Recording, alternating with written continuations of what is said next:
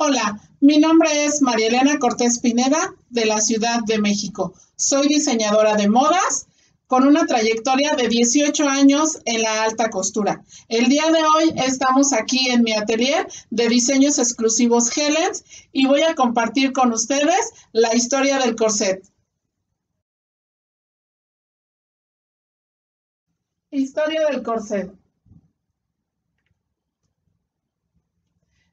En el siglo IX a.C., Grecia y Roma usaban cinturones precursores del corset. Existían varios tipos, según si se colocaba alrededor del pecho, de las caderas, en el cuerpo o en la ropa. Estos cinturones fueron llamados cestu, capitu, fascia, taenia, mamilare, estropium, zona, apodesme, etcétera, por mencionar algunos.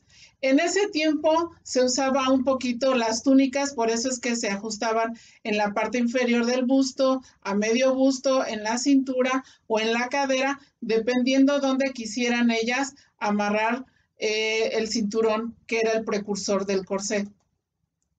Ya para el siglo XII, bajo los reinados de Luis VI y Luis VII, aparecen vestidos ajustados en la parte superior del cuerpo y corpiños ajustados separados de la falda. Como ustedes podrán ver en esta imagen, se mandaban a hacer con los herreros las armaduras eh, de la parte de arriba de los corsets de ese siglo. Ya para el siglo XVI y XVII, viene el auge del corset. Todas las mujeres lo utilizaban sin importar su posición social e incluso abusaban de él, estrechando en, en exceso la cintura. La moda comenzó en España y Francia. Los corsés se convirtieron más elaborados y fueron una parte esencial de la imagen con faldas voluminosas, pequeños abrigos y el entrelazado en el corset empujaba el pecho hacia arriba. La imagen ideal y voluptuosa de una mujer en un evento social era esa prenda. También la usaban hombres, niños y niñas a partir de los 7 u 8 años, principalmente en las clases sociales más altas de ese siglo. En el siglo XVIII se extendió su uso y al abusar de ello, ajustándolo extremadamente, llegó a producir deformaciones en la caja torácica de las mujeres, conllevando problemas en el sistema respiratorio o en el sistema digestivo, pero las damas de clase social alta solo utilizaban el tin lacing para eventos formales como fiestas o reuniones de sociedad.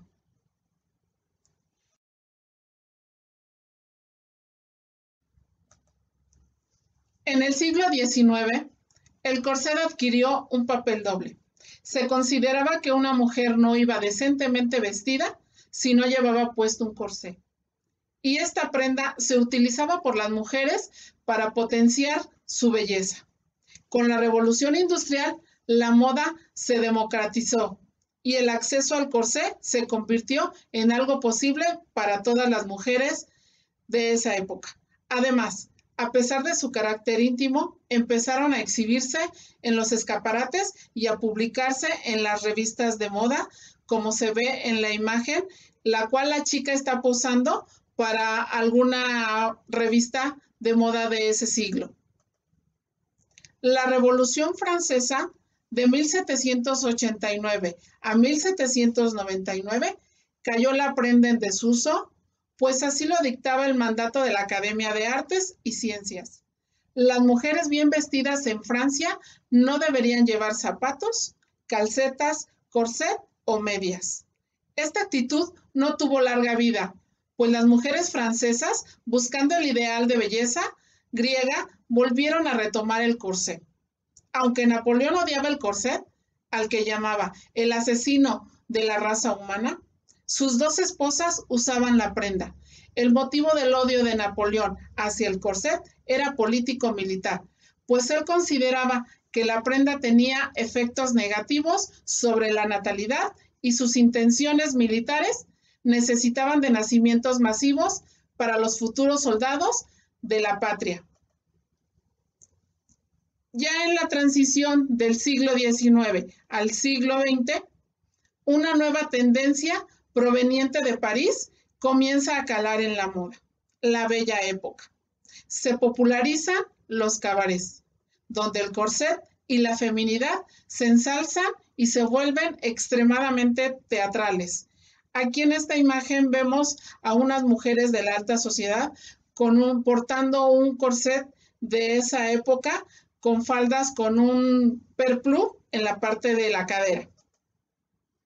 En el siglo XX, la mentalidad y la sociedad cambian, buscando una mujer más activa, libre de naguas y corset.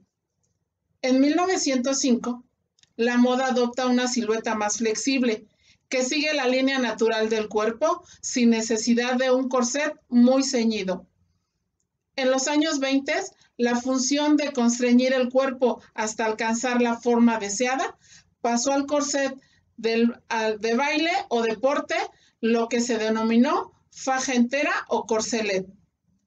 En 1940 y 1950 se desarrollaron las fajas de látex o elásticas. Tenían la gran ventaja de encogerse o estirarse y se llamaban enrolladas, porque eso es lo que había que hacer para ponérselas, enrollarlas.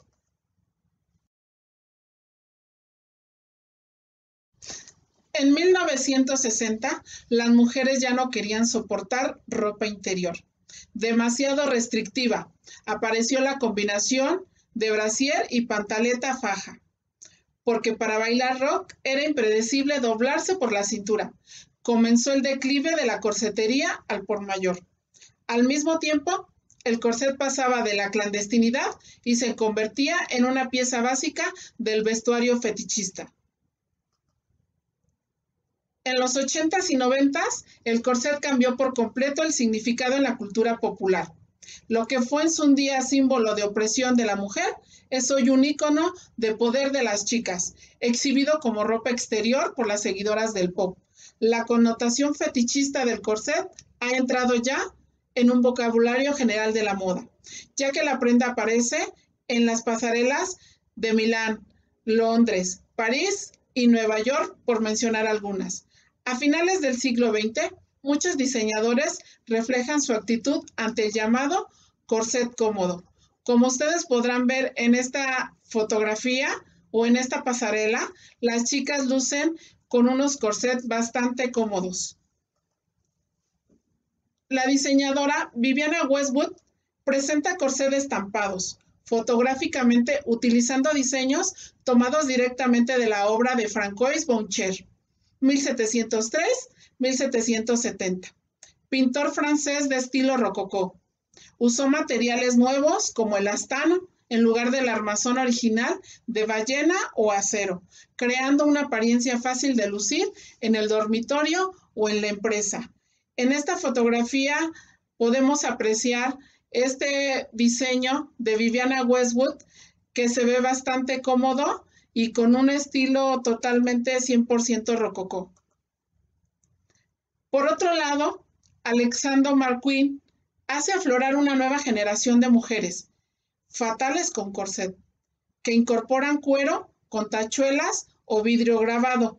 En esta imagen vemos en una pasarela a esta chica mostrando un diseño de Alexander McQueen en cuero.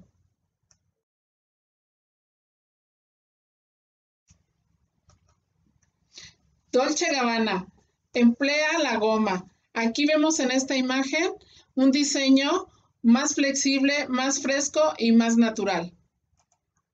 Jean Paul Gaultier prefiere una versión en algodón gastado. Ahí vemos a Madonna usando uno de sus diseños. El corset, que en su día era íntimo, hoy puede ser exterior o interior en el teatro de la moda. Ya no se puede definir a quien lo viste como una víctima de la moda, puesto que la prenda evoca dominio sexual más que sumisión. En la actualidad, el corset no existe más en la vida cotidiana como en las épocas pasadas. Ya ahorita la gente normalmente no lo usa más que para algún evento. Aquí les presento un corset que es muy de la época del siglo XVIII. Tiene una pechera, encaje, tiene mangas aglobadas y la tela es un brocado en oro combinado con plata. Por otro lado, aquí tenemos un bustier de la época actual, que sería con, con copas y tiene cristal Swarovski en AB. Ambos se presentaron en una pasarela. Si ustedes aquí aprecian, es un vestido que está unido de la falda. ¿Sí? Es un vestido dual. Eran dos chicas las que se presentaron en esa pasarela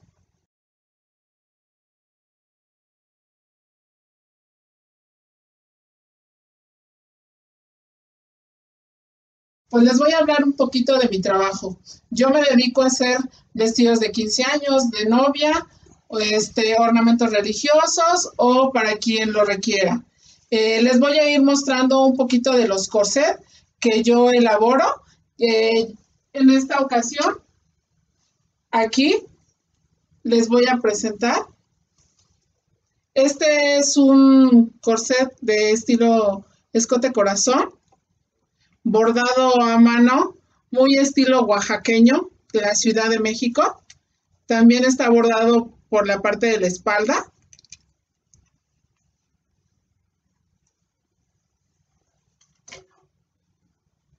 Aquí tenemos otro, igual escote corazón, muy de 15 años, con flor tridimensional y con cristal Swarovski bordado totalmente a mano, también por la espalda.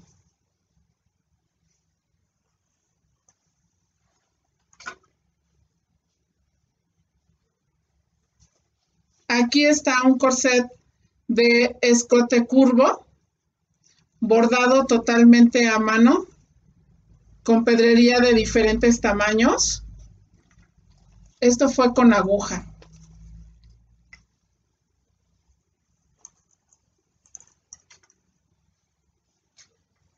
Este es uno de los que a mí me encanta.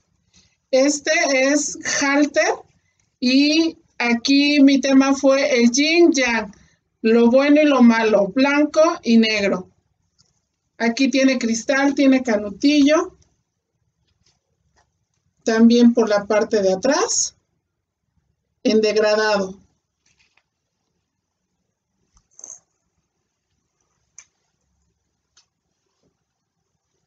Y por último, les presento este corset que también es halter, también bordado con listón.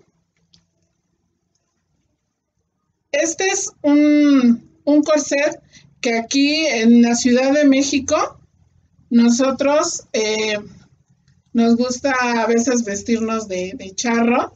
Entonces este sería como para, ideal para una boda charra. Aquí ustedes podrán apreciar el medallón que está bordado con listón, con flores, canutillo, cristal y en la parte también de la espalda. Bueno, pues este es algo de lo que yo realizo.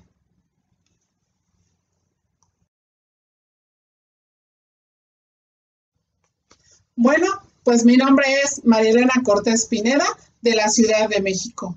Síganme en mis redes sociales que aparecen en la parte de abajo, vestidos de 15 años Helen, o escríbanme a mi correo que también está apareciendo. Agradezco a CAMS Argentina por la invitación para este proyecto y a CAMS México. Y nos vemos hasta la próxima. Bye.